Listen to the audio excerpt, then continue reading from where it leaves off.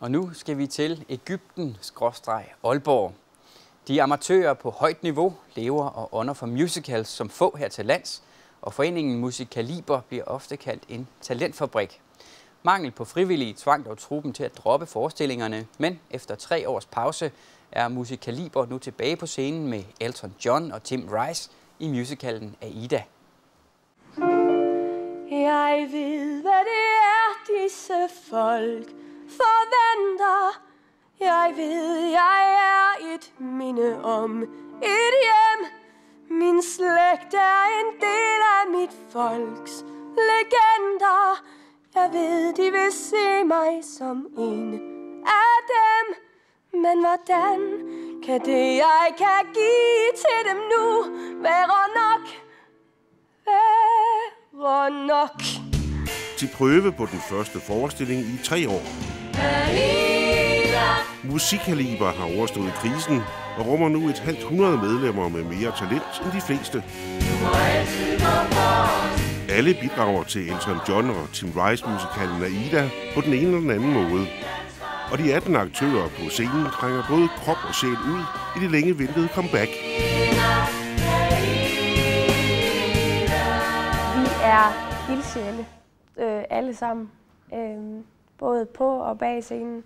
Og vi, øh, vi vil give Aalborg noget, som de mangler. Men til synlandet er tanken om at spendere tid med en ung, moderne prinsesse frastødende. Vi kan give øh, et, et socialt rum til de unge, som, som bare vil det her musical på det her niveau, og som måske har drømme om at, at tage det videre end bare øh, her hos os. Og nu skal vi i seng med fjenden. Prinsesse Amneris. Kaptajn Radames har ikke glemt dem. Aida byder på sang, musik og dans til et vigtigt kapitel i Ægyptens historie. Men indtil da sender han dem denne gave.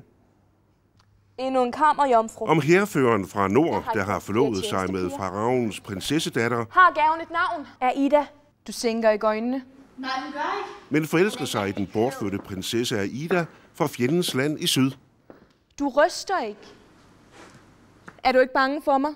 ville det gøre dem gladere, hvis jeg var? Hold de positioner, I har. Den professionelle skuespiller Pia Mogrier med tilknytning til Aalborg Teater er hyret som instruktør. Deromme. Nej, ikke på den måde, Søren. Den handler om øh, en ting, som altid er eviggyldig. Kærlighed, magtkamp, jalousi, drama, krig, ikke krig. Så den er en forestilling, som aldrig går mod. Fokus på Aida. Fokus. Kærlighed er skønt, det aldrig går mod.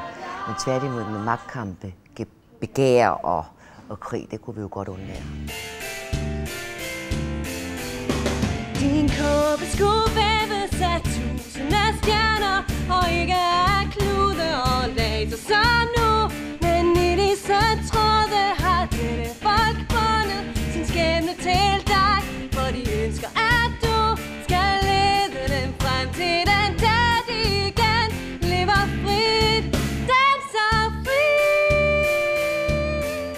Talent, det er en udstråling og komme ud over rampen.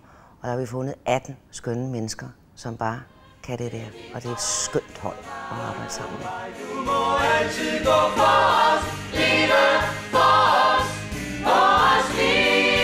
Hvis der er nogen, der drømmer om en professionel karriere, f.eks. som skuespiller som dig selv, er der så håb forude? Jeps, det er der.